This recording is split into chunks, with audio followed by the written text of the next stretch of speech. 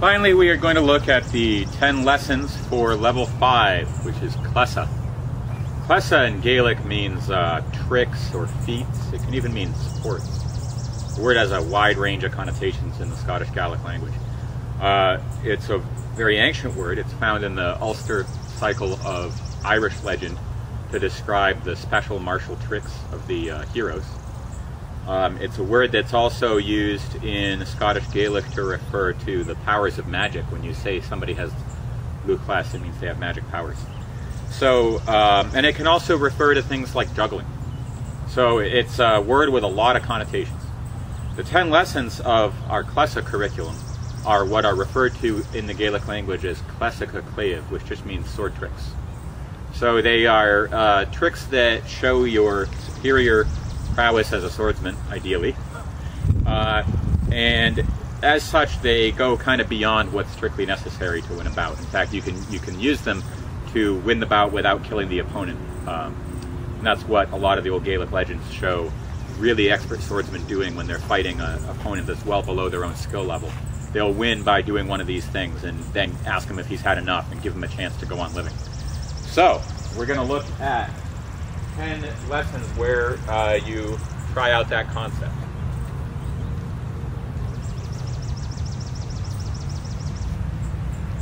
First uh, class that you're going to try is called the restraint stroke.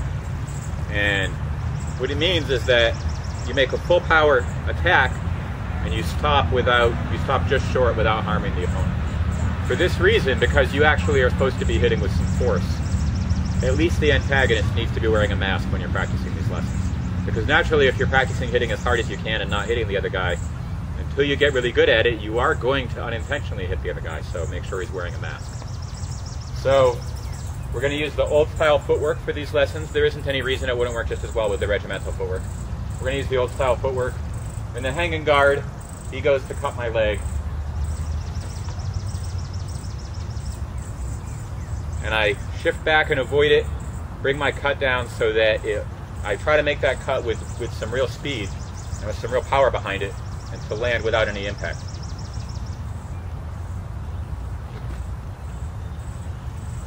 And then you say, have you had enough? Some of the legends actually show the uh, hero doing that several times and then the other guy eventually gets the point. I think uh, in reality once is enough. If he keeps pushing you after that, it's probably time to finish him off. But.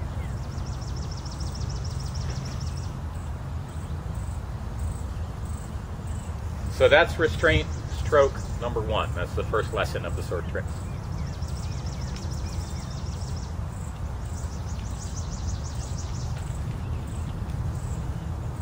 Restraint stroke number two, we're in an outside guard. He cuts one. And I'm going to make cut four, and again, try to hit as hard as you can, but land on him without any power. Without cutting him if the weapons were sharp.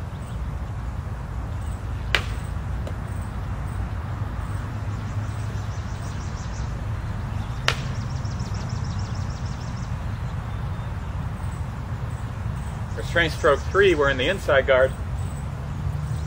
He cuts two. And what you really want to work towards is getting as close as you possibly can without actually hitting him. And if you do land on him at all, you want to land as light as a feather.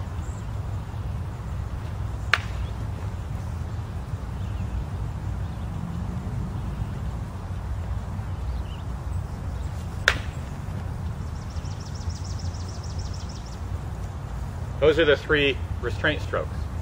You can actually do those with any cutting angle. The point is just, it's the restraint stroke. You show restraint, you don't actually land the hit. You give them a chance. Now the next one we're going to look at is the precision stroke. It takes the concept of the restraint stroke and takes it a little bit further. You're aiming for some tiny target on his face or, or on his clothing, or on his body or on his clothing. Sometimes they'll say, oh, he cut a button off the other guy's coat, just like in Romeo and Juliet, there's a reference to swordsmen doing things like that.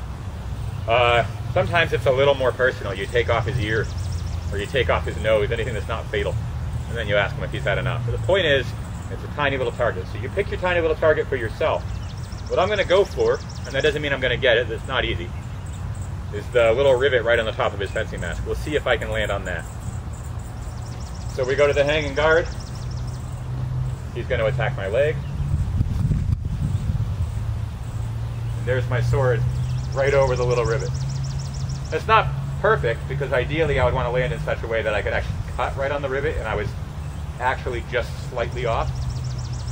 But this is something to continuously work on and refine and try to get it better and better. He goes for the leg cut.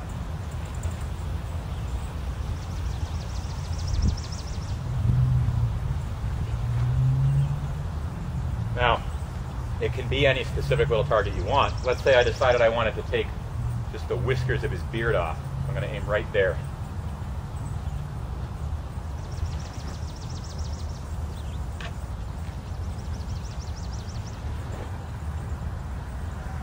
Okay, this is not a matter of uh, perfecting this skill.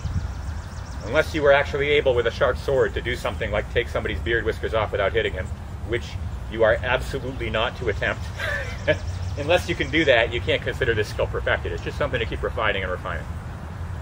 So that's uh, precision stroke number one. Precision stroke number two, same concept. He goes to make cut one. I'm going to parry and I'm going to make a return cut over here, and I'm just going to pick some tiny little target and try to hit it. So we say that rivet there. See if I can do that at speed.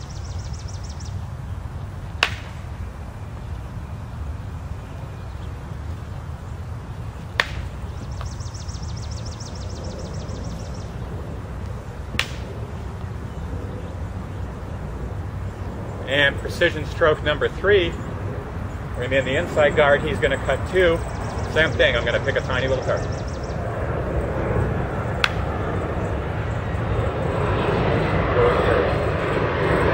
That rivet right there.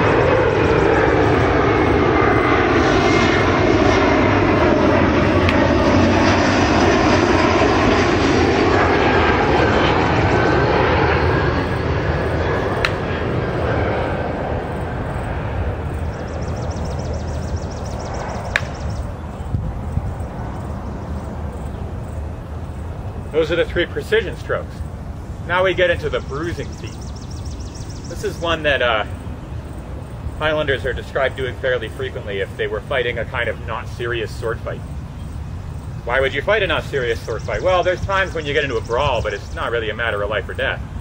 For example, Highland drovers would sometimes get into what were essentially gang fights with drovers from the borders. And the drovers from the borders only had cudgels. And so the Highlanders, out of a sense of fair play, wouldn't use the edges of their swords. They would just smack them with the, the flats and bruise them. That made it an even fight between the broadswords and the cudgels. Uh, if two clans who were not enemies, didn't have a feud, they generally got along, but they got into it over something, they might agree to fight it out and only use the flats of their blades. So this is the bruising feat. He goes to cut my leg,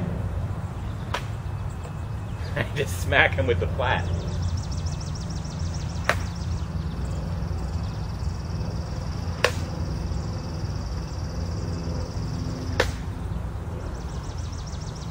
Second bruising feat, outside guard.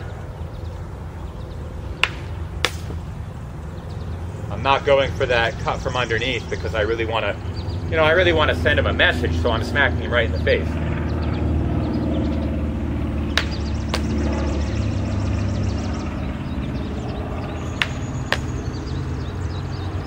And the third bruising feat, inside guard.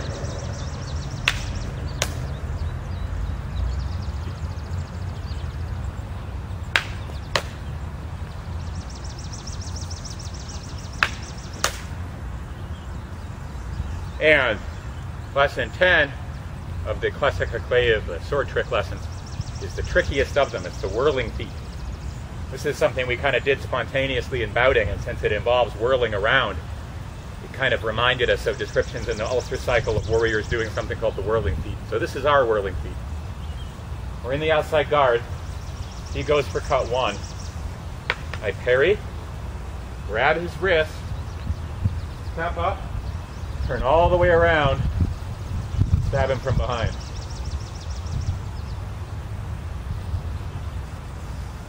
Remember that one?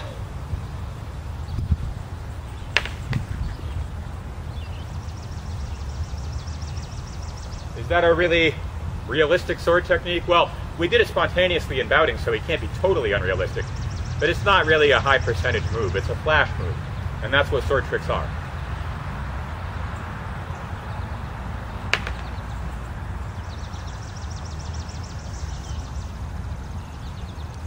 And that's the whirling feat. That concludes the 10 lessons of the level five of our core curriculum.